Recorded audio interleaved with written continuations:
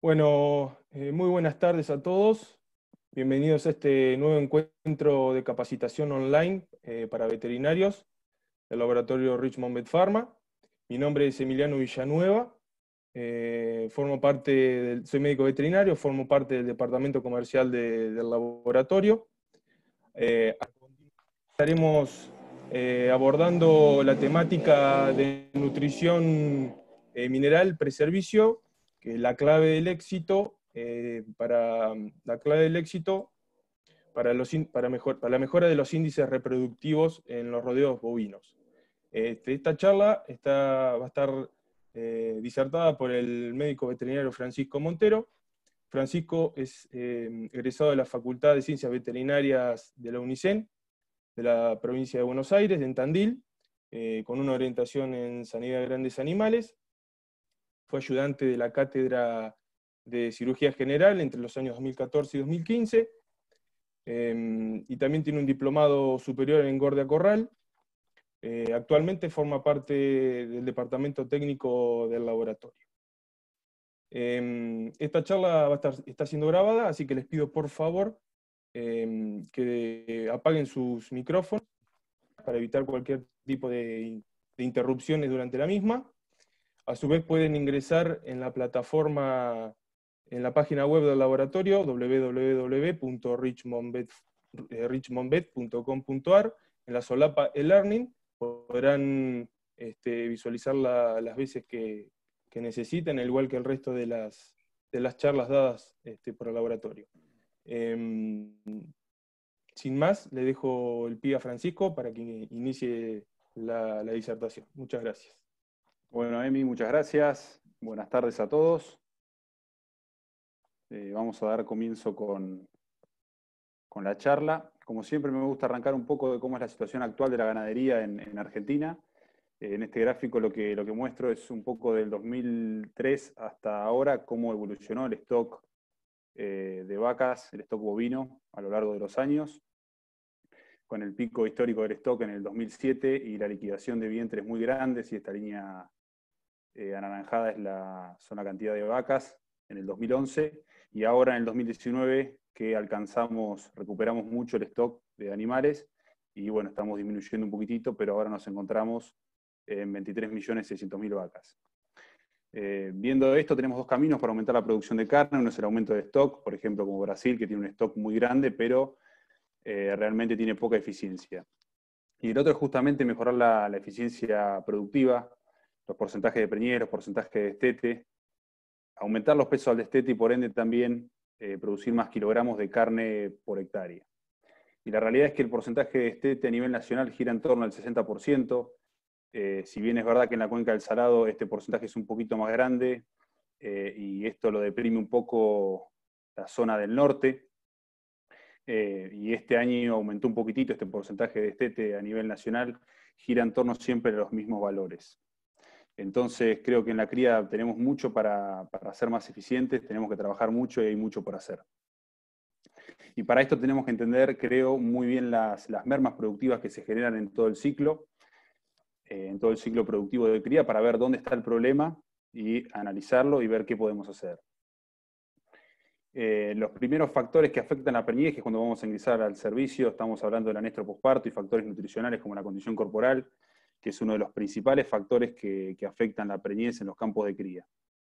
Ahí también tenemos enfermedades infecciosas como IBR, DBB, leptospira, campilobacteriosis y tricomona, que son las enfermedades venéreas. También eh, hablando de estrés calórico que produce mortalidad embrionaria, más que todo cuando eh, prolongamos un poco el servicio hacia los meses de más calor, como enero, y más que todo el cuadro se agrava si los animales están pastoreando festuca tóxica. ¿no? Y después también ver los toros subfértiles, si un toro está preñando o está sirviendo de 30 a 40 vacas o más, según la capacidad de servicio, entonces si alguno de estos toros falla, va, nos va a fallar el, servicio, entonces es muy, muy importante tenerlo en cuenta. La merma tacto-parición es una merma que no debería superar el 5%. Acá nosotros englobamos todo lo que son abortos por IBR, DBB, leptospira, brucelosis, que es una zoonosis que todavía está, es endémica en el país y causa, causa pérdidas, neosporosis, que tomó también mucha relevancia en los rodeos de leche y también de carne por, provocar abortos, y después las ya muy bien conocidas campylobacteriosis y tricomoniasis. También tenemos el nacimiento de terneros débiles o estos partos prematuros, y después muertes al parto ya por hipomagnesemia o distosia, que en este caso de la hipomagnesemia perdemos tanto a la vaca como, como el ternero. Y después la merma aparición de estete, que acá tenemos todo el complejo de diarrea neonatal, un dolor de cabeza en los, en los tambos producido por coronavirus, rota, criptosporidios y también eh, E. coli. Infecciones en el ombligo también nos causan eh, pérdidas de terneros en este, en este momento, porque después producen septicemia. Nosotros esto en tambos, con el preparto y con un recorredor, podemos ir curando los, los, ombligos con yodo, pero bueno, en los planteos extensivos de cría se complica y se hace difícil eh, ir curando ternero por ternero, por no decir imposible. En el caso de la mancha, que afecta hasta bien a terneros un poquito más grandes, la leptospirosis, generalmente cuando hay lagunas o algún tipo de, eh, agua cerca. Y después los terneros aguachados. Esto está dado por poca actitud materna, generalmente las vaquillonas o cuando uno asiste a algún animal a campo que después que, se levanta lo deja al ternero y también a veces por, mal manejo, arreos apurados de los lotes con, cría al pie que, que, van dejando los terneros y quedan desperdiados por el campo. Y después las neumonías, ¿sí? que las neumonías también afectan generalmente más en la, época de destete, ¿sí? terneros un poco más grandes, pero hay que tenerlas en cuenta en esta merma aparición de destete.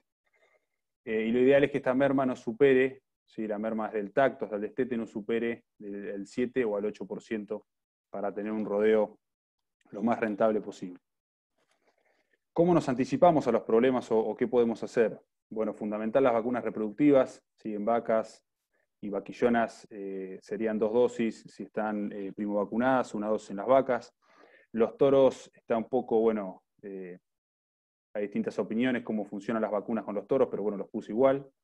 Importantísimo el raspaje de todos los toros, por lo menos dos consecutivos negativos para eliminación de toros con venerias, revisación clínicas y también genitales para descartar estos toros con problemas de aplomo, problemas de manqueras o también algún tipo de, de problema de, pezuña. Importantísimo el monitoreo parasitológico, más que todo cuando hablamos en recría o vaquillonas de 15 meses que tienen que llegar a un peso al servicio. Y está demostrado que justamente las pérdidas por parásitos eh, provocan que estas vaquillonas no lleguen al peso al servicio y también se ve afectado su grado de desarrollo reproductivo. Y acá marqué también eh, resistencia con signo de, interrogación porque creo que hay que hacer un monitoreo parasitológico en los campos y hay que evaluar si las drogas que nosotros estamos usando en estos campos realmente son eficaces contra los parásitos gastrointestinales de los animales. Eh, uno, para, evitar estas pérdidas subclínicas y dos, también para no seguir fomentando la resistencia parasitaria. Muy importante el tacto preservicio de las vaquillonas para medir también de nuevo grado de desarrollo reproductivo, diámetro pélvico para evitar distosias, descartar alguna vaquillona que pueda llegar a tener eh, frimartinismo, por ejemplo, alguna anomalía del cuerno, del ovario, y también algunas preñeces por robo que siempre se ven en algunos campos de cría. Eh, yo creo que esta es la plata clave, seguimiento de la condición corporal a lo largo del año en el rodeo de cría. Esto es importantísimo porque realmente la, vaca se preña cuando está bien de condición corporal, entonces es importantísimo esto.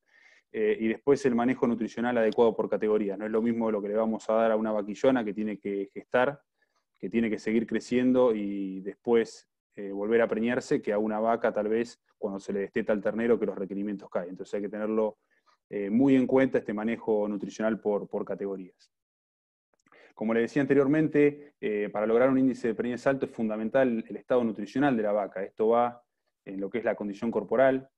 Un trabajo hecho por Catena muy interesante, lo que mide justamente que a mayor condición corporal se eleva el porcentaje de preñez. Fíjense que con condición corporal 4 tenemos casi un 95% o 95% de preñez, y ya después, bueno, cuando aumenta mucho, eh, cae un poco. Pero la idea es trabajar siempre con vacas en estado óptimo de 3,5 o 4 al momento del servicio, justamente para entrar con la mayor cantidad de, animales cíclicos eh, al momento del servicio. Y nosotros acá en Argentina tenemos que pelear con, las variaciones climáticas, ¿sí? Eh, cuando no estamos pasados, en, tenemos mucha seca, estamos pasados de agua, entonces se, complica. Tenemos los baches forrajeros de, invierno y verano también, que a veces nos quitan condición corporal a las vacas. Generalmente la vaca está destinada a campos de baja calidad, pastoreando gramíneas de baja calidad, y esto también hace que aparezcan las ya muy conocidas carencias minerales. que en realidad yo acá les puse las tres principales, eh, tres principales ítems o cómo afectan estas carencias minerales a los, a los rodeos en producción. Uno es la baja en la producción, otros son las fallas inmunitarias y otras son las fallas reproductivas, que es un poco el tema de hoy. Eh, y de nuevo lo que les decía, estos suelos pobres, en los cuales las carencias minerales son una limitante producción y se ven mucho. Para hacer un repaso de los seis nutrientes básicos que, que necesita un animal, en la base de la pirámide nosotros tenemos la energía de la proteína y el agua, pero no tenemos que olvidarnos de los minerales y las vitaminas. Esto es una analogía de un barril, sí, que esto representa lo que es un ternero o un animal, y cada una de estas tablas representa uno de estos nutrientes. Entonces, si el animal, si el animal no, cubre estos requerimientos, nosotros vamos a tener una limitante productiva. Entonces, si esto nosotros, por ejemplo, fuera cobre, el animal no podría expresar todo su potencial genético y no podría crecer como se debe justamente por esta limitante productiva que genera eh, faltan los requerimientos de, cobre. ¿Y por qué son importantes los, minerales? Bueno, primero porque son esenciales son, y son limitantes de la producción y porque cumplen eh, factores de mm, funciones perdón, de, sostén, lo que son los huesos, y también funciones metabólicas y cofactores enzimáticos de muchas funciones del organismo. Se dividen en microelementos, en esto los animales los requieren en miligramos por día, y en macroelementos, que son estos que el animal lo requiere en gramos por día. Yo acá marqué los más importantes, en realidad, o los que mayor preponderancia eh, a nivel país de Argentina, o sea, más deficiencia hay, que selenio, zinc, cobre, fósforo y magnesio, más importantes son en reproducción, pero eh, realmente todos los minerales son importantísimos para el correcto funcionamiento del, organismo y no hay que descuidar ninguno. Pero bueno, en los campos de cría se ve mucho la deficiencia de cobre, es uno de, los, principales, de los principales minerales que generan pérdidas, y después también la, deficiencia de selenio. Y el magnesio también que nos da dolores de cabeza eh, muy fuertes por, la pérdida de animales eh, adultos. Fíjense este cuadro eh, del efecto de las deficiencias minerales o cómo van impactando. Fíjense que la mayoría de los minerales provoca, si tiene una deficiencia, una reducción del crecimiento. La mayoría produce descenso en la producción de leche si faltan, disminución del apetito y de la digestibilidad, esto es muy importante, muy importante, más que todo el fósforo. Disminución de la fertilidad, fíjense acá, el fósforo, el cobre, el cobalto, el zinc, el selenio, el hierro. Y después las otras ya conocidas como, bueno, decoloración del pelo, el bocio, la degeneración muscular en el caso del selenio, eh, y la anemia que también, bueno, involucra al, cobre. Pero como, pueden ver, el efecto de las deficiencias minerales es muy grande y realmente impacta mucho sobre la producción. Eh, ¿Cuál es el, nivel mineral de las pasturas? Esto creo que hay que tener en cuenta porque todos los minerales eh, tienen, son muy, muy variables, o sea, dependen de muchos factores. Eh, acá les traje dos fotos, uno es un campo bajo, esto es generalmente característico de la, cría, ¿sí? Eh, un campo natural bajo, y acá una recría pastoreando una, una, una cebada. Entonces, esto realmente influye mucho sobre las carencias minerales, estos suelos bajos a los que se destinan la, cría y alcalinos predisponen a, las deficiencias, como por ejemplo de cobre. Depende mucho también de la especie forrajera que estamos pastoreando, no es lo mismo una gramínea que una leguminosa. Por ejemplo, las leguminosas se saben ya que son más, nutritivas y tienen más contenido de zinc. Y después también eh, el estado fisiológico de la planta. Nosotros si las pastoreamos en, en prefloración, eh, tenemos la máxima concentración de nutrientes. En el caso, por ejemplo, de pastorear un verdeo muy aguachento, vamos a tener eh, poca concentración de, minerales y también alta concentración de, agua. Esto también además nos va a traer diarrea que va a, impedir la absorción de los minerales. El manejo de las pasturas es muy importante y también la fertilización de las mismas y después fundamental en todo lo que es las carencias minerales, las condiciones climáticas. Y en el caso de hipomagnesemia, por ejemplo, esos días fríos y nublados, y en el caso del cobre las incidencias de, inundaciones que también predisponen a, la carencia de cobre. También depende mucho, influye mucho y tiene gran variabilidad lo que es la absorción mineral a nivel del animal. El animal tiene un rumen, si en este rumen pasan, pasan muchas cosas y es compleja la absorción. Fíjense, ya el, cobre del ingerido solamente un 5% se absorbe, o sea que ya es muy bajo. Eh, depende también de la forma química en la que se encuentren los elementos dentro del rumen. Y algo muy, muy importante es la interacción con otros minerales que forman complejos insolubles, en el caso del cobre, por ejemplo, que se, quela con los sulfatos del agua de bebida e impiden su absorción. Eh, el pH ruminal también influye mucho en el caso del pH alcalino, por ejemplo, que predispone hipomagnesemia. Si nosotros vemos una vaca que está, está comiendo pasto, generalmente el pH tiende a ser alcalino, ¿sí? por la rumia y por la salivación, y por ende va a predisponer a, la aparición de hipomagnesemia. Es por eso que nosotros recomendamos siempre la utilización de maíz en estos casos, porque disminuye un poco el pH, ayuda a absorber el magnesio y también le da energía al animal la tasa de pasaje, que es la velocidad de absorción digestiva, lo mismo si un animal está pastoreando un verdeo y aumenta la tasa de pasaje, el nivel de absorción es menor. Entonces, todas estas cosas hay que tenerlas en cuenta y conocerlas para saber cómo funcionan las carencias minerales y cómo, eh, y cómo impactan sobre el animal y por qué son tan complicadas eh, a la hora a veces de, resolverlas y de, diagnosticarlas. Se dividen en dos, a grandes rasgos, una deficiencia primaria, que esto generalmente es cuando el animal ingiere pequeñas cantidades en la dieta o directamente no está en la dieta el, mineral, ¿sí? Y una secundaria cuando generalmente se produce una interacción de este mineral. Esto quiere decir que el animal puede estar en el pasto y puede estar en la tierra, pero el animal no lo está asimilando, como por ejemplo si está tomando agua con sulfatos, ¿sí? que quelan el cobre e impiden su absorción. Y en este caso lo mismo, puede estar en la tierra, pero puede no estar en el pasto porque el pasto no lo puede absorber y por ende el animal tampoco lo va a poder utilizar. Esto es muy importante, no hay que olvidarse que nosotros como, asesores eh, en producción trabajamos con un rodeo eh, y nosotros cuando vemos la forma clínica ya hay, ya hay muchos casos subclínicos y esto es lo que genera la pérdida de rentabilidad en el establecimiento. Todas estas formas subclínicas, esta imagen ya estrellada, pero bueno, eh, ilustra un poco lo que son las, deficiencias minerales, ¿no? Cuando uno ve la forma clínica, ya, ya se perdió mucho económicamente por la forma subclínica. Y las formas clínicas son las conocidas, ya la deficiencia de cobre y zinc, esta decoloración del pelaje en esta vaca, por ejemplo, o en estas vaquillonas también lo mismo, la decoloración del pelaje, o la enfermedad del músculo blanco por la deficiencia de vitamina E y selenio, que causa bueno, la, degeneración de Senker en las fibras cardíacas del corazón de los terneros y provoca también eh, muerte, perdón, muerte espontánea del, del animal, muerte súbita.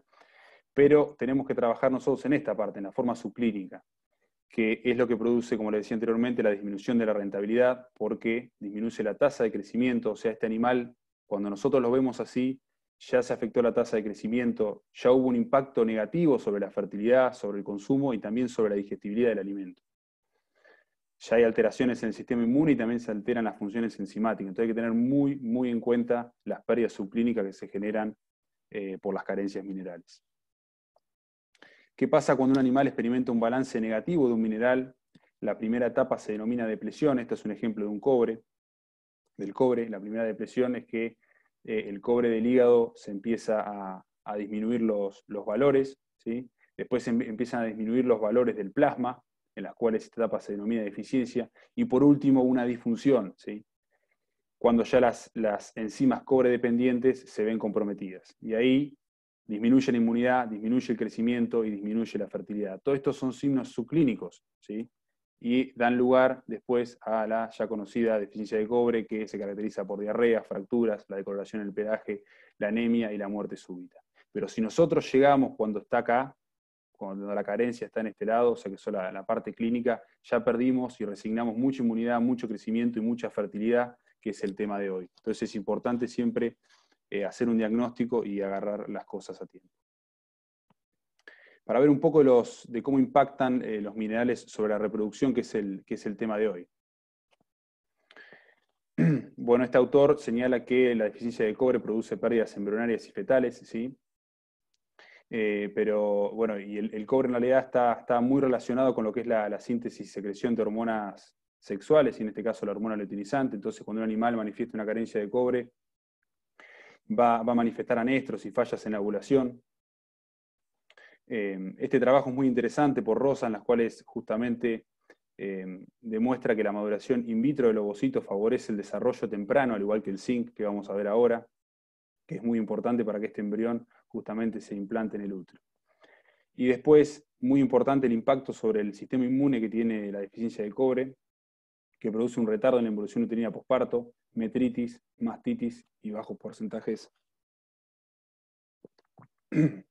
perdón, de preñez. Con respecto al zinc, el zinc forma parte de 300 eh, metaloenzimas También actúa en el desarrollo embrionero temprano, eh, al igual que el cobre. Tiene un efecto antioxidante muy importante porque forma parte de la, de la superóxido desmutasa, que es una enzima que, al igual que el cobre, elimina los radicales libres, que ahora los vamos a ver. Y eh, también está documentada que la deficiencia de cobre justamente también produce disminución de la espermatogénesis en toros y síntesis de testosterona, que hay que tenerlo en cuenta. Y después algo que aqueja mucho al tambo, que son las enfermedades podales, justamente porque el zinc eh, interviene en el mantenimiento de epitelios queratinizados y en la inmunidad de este animal. Y un animal que tiene problemas de patas va a liberar cortisol y le va a costar más preñarse y ciclar correctamente. Entonces hay que tenerlo en cuenta. Y el factor eh, muy importante también del, zinc a tener en cuenta es que el, regulador del pH uterino y seminal, tan importante para lo que es la, implantación del embrión a nivel uterino. Con respecto al fósforo, que es un macromineral, esta carencia se ve mucho en el norte del país. Es la deficiencia más importante a nivel mundial en animales en pastoreo.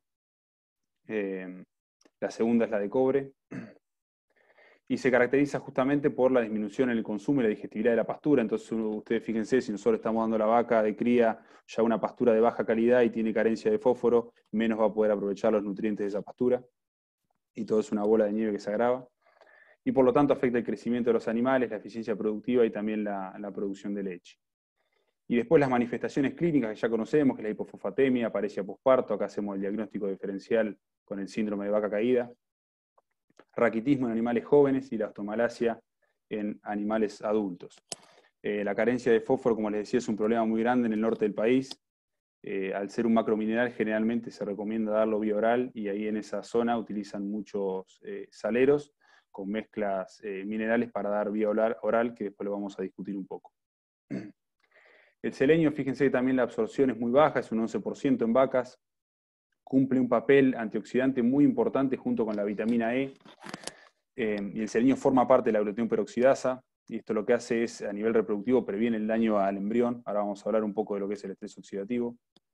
Tiene una función inmunoestimulante muy importante también, y también interviene en lo que es eh, el sistema inmune justamente por eh, en la, aumentar, digamos, la vida media de los macrófagos. O sea, cuando hay carencia de selenio, se reduce la actividad de la glutatión peroxidasa y por ende se reduce la vida media de los macrófagos. Esto hace que haya alta incidencia de metritis, de retención placentaria, de mastitis, abortos, etc. Y en toros condiciona la baja fertilidad justamente por la baja calidad de semen y las anomalías espermáticas que se producen en la deficiencia de, selenio. Y ahora les voy a hablar un poco del estrés oxidativo. Este es un proceso que se genera normalmente en el animal. Eh, estos radicales libres el animal los genera por el metabolismo propio, ¿sí? pero en momentos estresantes, destetes, arreos, vacunaciones, mismo en la IATF, estos radicales libres aumentan y producen justamente un daño celular que impactan sobre la producción en terneros en destete, por ejemplo, y ahora hablando de la, de la fertilidad, dañan a este embrión y también producen fallas en inmunidad.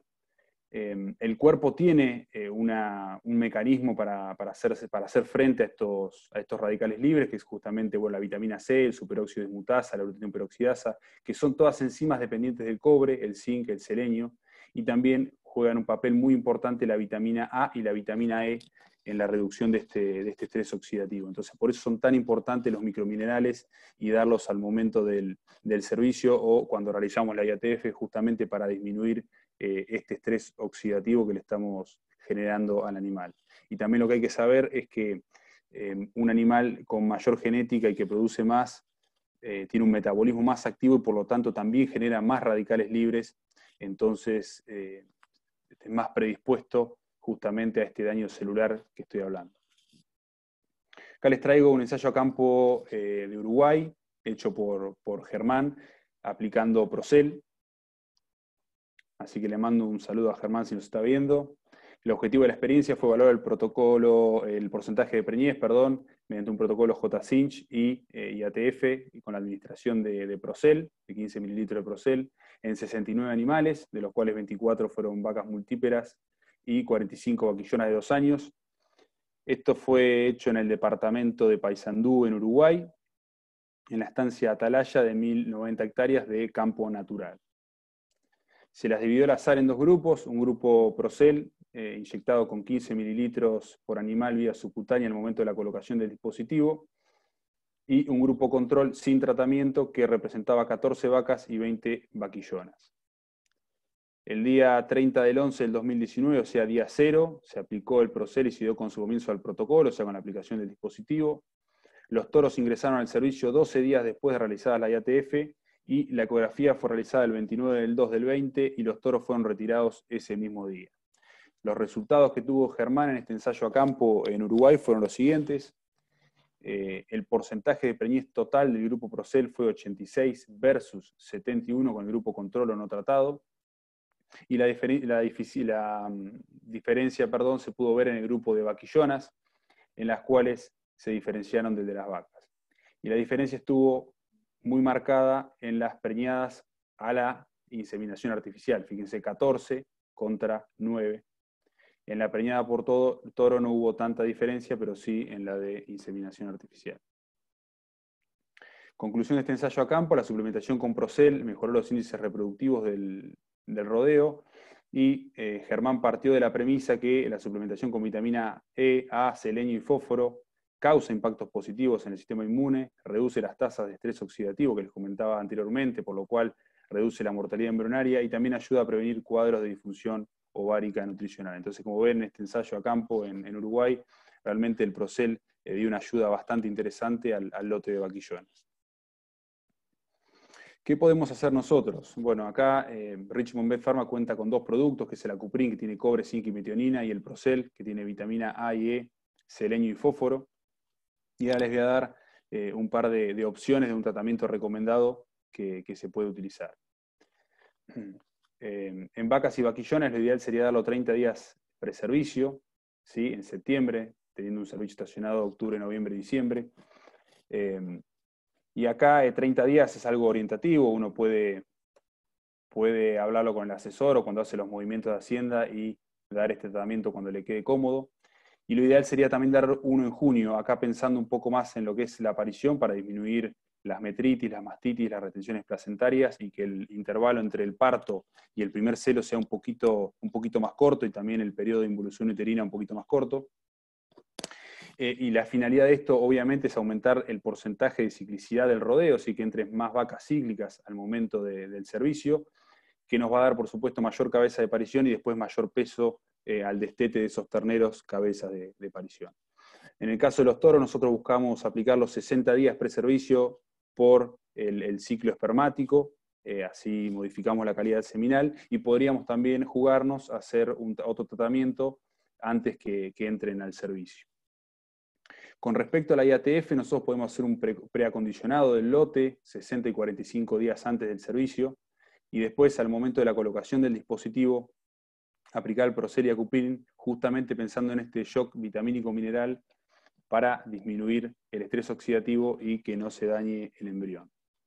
También puede ser aplicado en, transferencia embrional. Entonces, como ven, es, es, algo bastante simple, realmente creo que es algo bastante práctico aplicarlo al momento de la colocación del dispositivo porque los animales ya están, ya están encerrados eh, y realmente, como en el ensayo de Uruguay, los resultados eh, creo, creo que se ven. Como consideraciones finales, eh, las deficiencias minerales en nuestro país son numerosas porque tenemos sistemas pastoriles eh, y realmente eh, impactan mucho sobre la producción, más que toda la deficiencia de cobre que genera importantísimas pérdidas. Las más peligrosas son las subclínicas porque nosotros y el productor no la está viendo y los animales están produciendo menos. Nosotros tal vez invertimos mucho en genética y nos estamos comiendo unos puntitos extra por no darle bola a los, a los microminerales. Hay un continuo drenaje de los minerales del suelo, convertido en, granos y carne, que después no son repuestos al suelo. Y, por todo esto creo necesaria la suplementación inyectable de, hablando de, microminerales. Y después nunca olvidarse, como asesores veterinarios tenemos que hablar siempre de plan sanitario productivo. Esto quiere decir que nosotros le tenemos que eh, generar una, rentabilidad positiva al productor, instaurando un plan sanitario adecuado a cada establecimiento.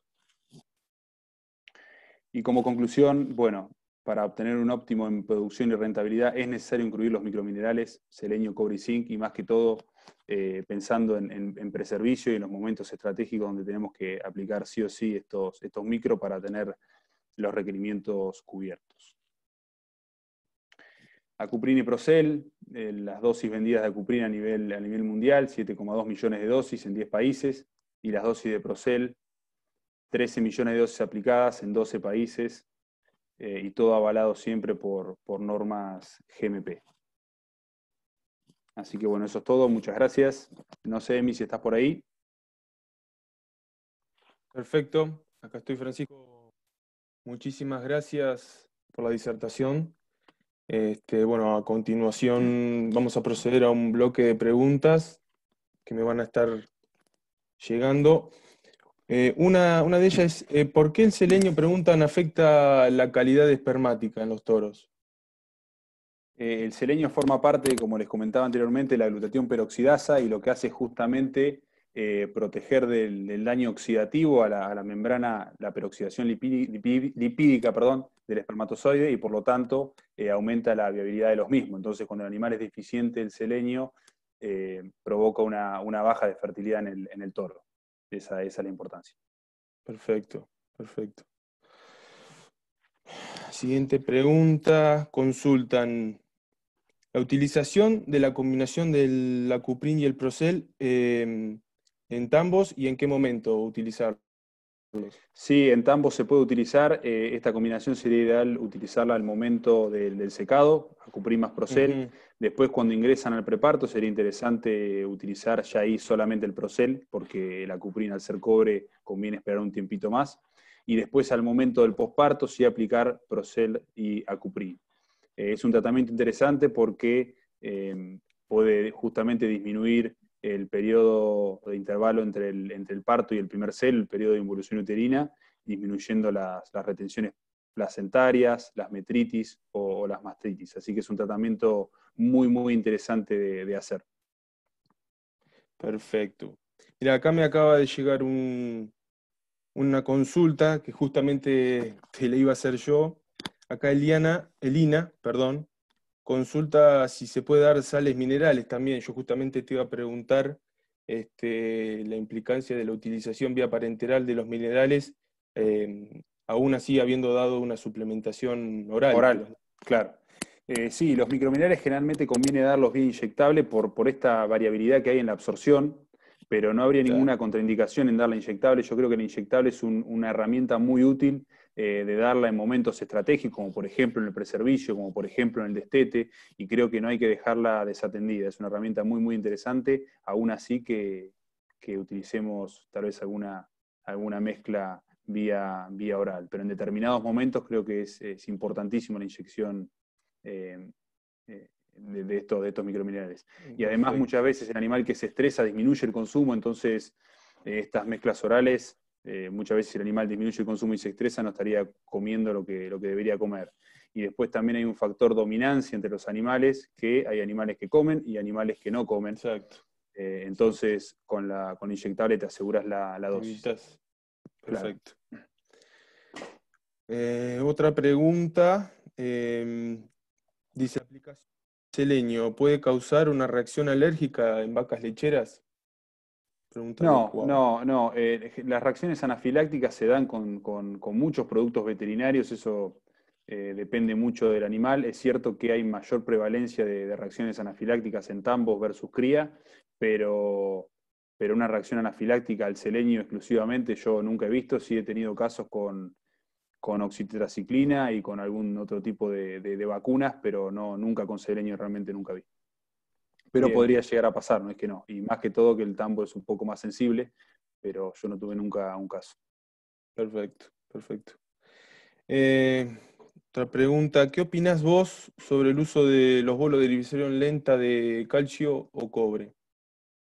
Eh, bien, los bolos de liberación de lenta de calcio en el tambo, yo creo que algunos lo, aplican, pueden llegar a andar. Eh, con respecto al cobre, me parece, no sé si en, este, en el país se hacen y creo que son muy, muy caros. Realmente la dosis de cobre inyectable no, no es para nada, no es para nada eh, cara. y realmente me parece algo muy impráctico en un, rodeo de cría andar con un lanzabolo aplicando los, bolos, encerrando los animales y encepándolos y aplicando bolo por bolo. Eh, me parece que tenemos una herramienta que es muy interesante, que es el cobre inyectable, y está probado que funciona. Eh, me parece que los bolos, eh, en, este caso o en nuestro contexto, no serían del todo indicados. Más que todo también por lo, por lo caros que son. Perfecto, perfecto. Otra pregunta. Consultan si se puede utilizar este mismo tratamiento en terneros. Acuprimas Procel. Exacto. Sí, es una buena, una buena alternativa al destete. Nosotros ahí en el destete se produce un gran estrés para el, para el animal, entonces con este tratamiento estaríamos eh, disminuyendo este estrés oxidativo que se produce en el destete. Eh, entonces es una herramienta muy interesante, además también eh, dosificaríamos cobre, que es importantísimo para el, para el crecimiento de los animales. Eh, justamente la deficiencia de cobre impacta sobre eh, los animales chiquitos con falla en crecimiento y sobre los animales grandes en pérdida de fertilidad. Entonces es una herramienta muy, muy interesante para ser utilizada en destete o bien también al, inicio de, la engorda de corral. Perfecto. Siguiente pregunta. Acá pregunta José. Eh, si podríamos usar Nutrimin en el plan sanitario, siendo que contiene los mismos elementos que el Procel y Acuprim pensando en una sola inyección. Sí, también se podía utilizar Nutrimin. Eh, el tema es que el Nutrimin tiene la mitad de dosis comparado al, Procel y al Acuprim, que eso hay que tenerlo en cuenta. Y yo, por ejemplo, pensando en, reproducción, me gustaría que eh, tengan una dosis un poco más, más fuerte y más pensando también en el estrés oxidativo que te comentaba anteriormente. Entonces, me gustaría que las vacas estén, eh, estén más cubiertas. Sí, en ese sentido. Entonces me gustaría más aplicar eh, a Cuprin más Procel. Pero realmente si a él le simplifica un poco más tener una inyección versus dos, también se puede utilizar perfectamente. Lo que sí hay que saber es que viene en menos concentración que eh, aplicar eh, por partes individuales el Procel más el Acuprin. Exacto. En el caso de, de una complicación en el encierro de los animales, eventualmente este, sí, o, tal vez cuando se tienen que inyectar mucha cantidad de productos veterinarios, tal vez están dando vacunas, están dando un antiparasitario y demás, eh, tal vez a veces les queda más cómodo, más práctico inyectar, por ejemplo, Nutrimin, porque estarías eh, con una jeringa solamente. Y podría ser válido, sí. Perfecto. Consulta Fabián, ¿qué residualidad tienen los productos nombrados? ¿Residualidad con respecto a qué? ¿Al retiro de carne y leche? No sé, no, no, no tienen, no tienen retiro la mayoría de estos productos. Eh, generalmente eso se aplica más que todo para los, para los antibióticos y antiparasitarios. Perfecto. Em, en el ensayo de Procel en Uruguay preguntan por qué se presenta la disparidad en cantidad de vacas y vaquillonas. Yo eso lo hablé con Germán eh, y eso fue porque él lo hizo a medida que entraban los animales en la manga, él los iba apartando para un grupo o para otro. O sea, él lo hizo al azar en vez de armar grupos homogéneos eh, por, por, comodidad, lo hizo así. Mediante entrar, entraban a la manga y los iba dividiendo al azar en grupo tratado y no tratado. Por eso esa disparidad. Bien. Eh, bueno, la última pregunta. ¿Nos conviene aplicar solamente el Procel y el Acupril eh, antes de la IATF? Eh, yo mostré ahí dos opciones. Una es un preacondicionado del lote, eh, en los cuales nosotros 45-60 días hacemos una, aplicación para que el lote gane un poquito de confianza y cicle más. Y después en la IATF al día cero es importantísimo porque ahí nosotros lo que estamos haciendo es disminuir este estrés oxidativo que, que les comentaba que daña el embrión. Eh, nosotros normalmente en la IATF buscamos que no haya perros, que, el animal no se lo trate con gritos o con palos, pero igualmente el animal cada vez que ingresa a la manga eh, se, estresa. Entonces es importante reducir ese, estrés oxidativo que impacta directamente sobre el embrión. Perfecto. Perfecto. Bueno, te hago la última pregunta. Víctor consulta, ¿el intervalo más corto que se pudiese usar, el intervalo más corto que se pudiese usar cobre 5, cuál sería?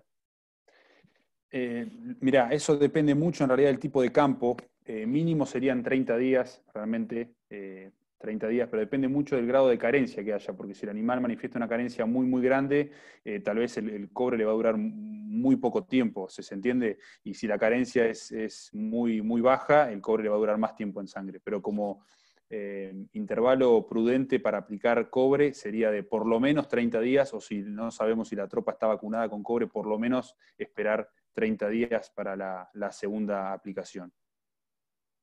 Perfecto. Y en cuanto mm, a la función que cumple el selenio y el cobre en la espermatogénesis. Lo mismo que te contaba anteriormente, son dos potentes antioxidantes que justamente lo que hacen es aumentar la viabilidad espermática y disminuir las, anomalías espermáticas, por lo tanto aumentar la, fertilidad. El selenio, ya te dije, forma parte de la glutión peroxidasa y el zinc forma parte junto con el, con el cobre de la superóxido desmutasa, que son dos Resaltar esos dos puntos. antioxidantes del, organismo. Bien. Eh, bueno, Francisco, eh, yo creo que cualquier consulta eh, que tengan los participantes, ahí está a disposición el mail tuyo para que te envíen cualquier inquietud que no hayamos podido este, resolver en, esta charla. Em, no sé si querés agregar algo más. No, muchas gracias a todos por, el tiempo. Cualquier cosa me escriben, se mandan un, correo y, bueno, gracias a vos por, la moderación. No, muchísimas gracias a vos. Bueno, este, muchísimas gracias a los participantes. Eh, esperemos cualquier, cualquier consulta, eh, pueden volver a, Recuerden que esta charla está grabada en la solapa de Learning, volver a, visualizar las veces que necesiten en la página del laboratorio. Este, muchísimas gracias y que tengan buenas noches. Sí. No, también agradecer al presidente Juan Onainti también por este, por este espacio, que permite intercambiar entre profesionales que está, está muy bueno. Así que nada, buenas noches a todos. Bueno, muchísimas gracias eh, por participar. Que tengan buenas noches.